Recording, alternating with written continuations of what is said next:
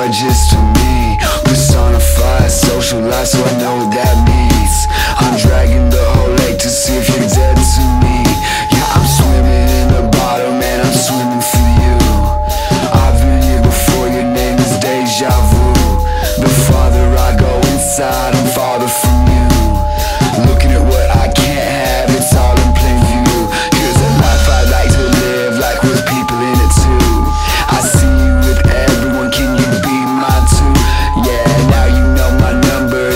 count on that, Mrs. Junior.